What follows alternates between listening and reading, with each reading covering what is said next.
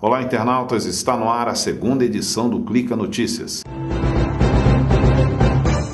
O que era para ser uma área verde transformou-se em passagem para carros, depósito de lixo, entulhos e até mesmo ponto para consumo de drogas. Em quase todas as quadras de Sobradinho 1, as faixas verdes estão sendo usadas irregularmente por moradores de rua e estacionamento de veículos.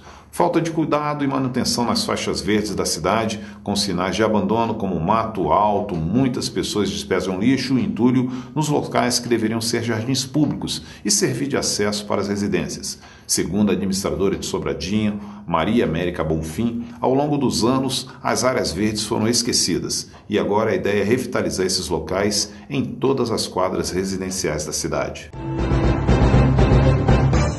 A maioria dos deputados distritais está de férias, viajando, mas nem por isso as articulações políticas estão interrompidas.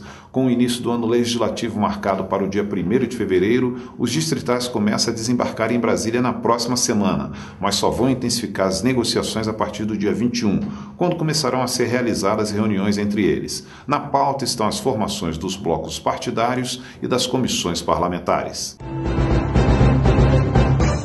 A perda de participação do grupo alimentação dentro do cálculo dos índices de preço ao consumidor, calculados pela Fundação Getúlio Vargas, pode ser explicada pela lei empírica, que diz que quanto mais a sociedade se desenvolve, diminui a proporção de despesas com alimentação. Isso porque, com maior renda, as famílias deslocam seus gastos para os novos tipos de consumo. A Fundação comentou ainda que, entre as pesquisas de orçamentos familiares de 2002, 2003 a 2008, 2009 do IBGE, houve acréscimo da renda do trabalho. Isso, na prática, estimulou a perda de frequência do consumo de alimentos dentro de casa, entre os dois levantamentos, o que ajudou a derrubar o peso de alimentação dentro dos IPCs.